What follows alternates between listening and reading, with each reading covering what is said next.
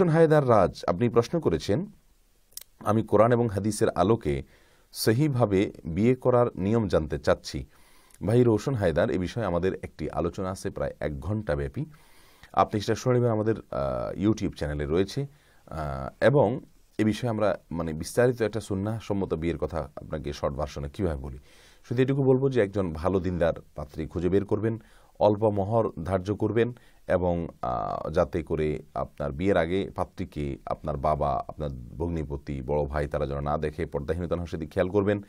বিয়ের অনুষ্ঠানে কোনো প্রকার হারাম যেন না হয় গান বাদ্য না হয় এবং অনেক কুসংস্কার আছে, গায়ে হলুদ টলুদ এগুলো কোনোটা যেন না হয় সেদিকে খেয়াল করবেন।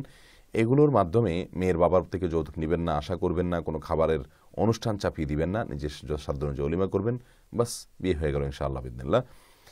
এরপরে প্রশ্ন করেছেন